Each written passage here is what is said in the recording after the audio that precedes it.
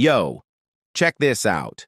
NASA spotted a comet. It's huge, like the size of Manhattan, and it's coming from another star system. And guess what? It's spitting water like a cosmic fire hose, bro.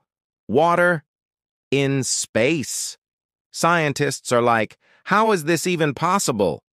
Normally, water would freeze instantly.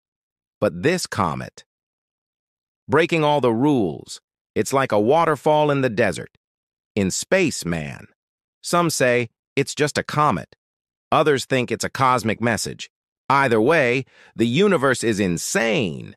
And if someone says, space is boring, show them this crazy comet, spraying water like it owns the galaxy. Remind them, space is wild. Dragon Army for life.